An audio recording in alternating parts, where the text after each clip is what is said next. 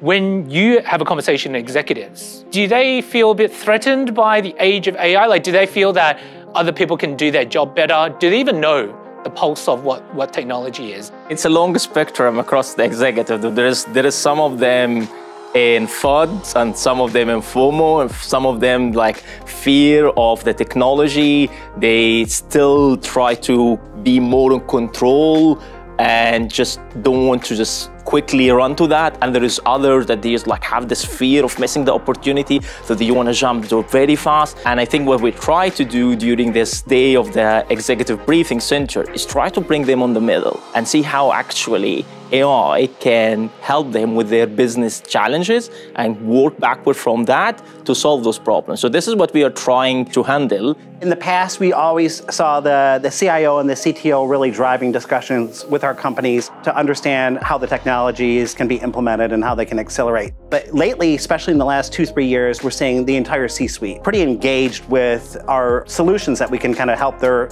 their problems, the CMO, the COO, the CFO.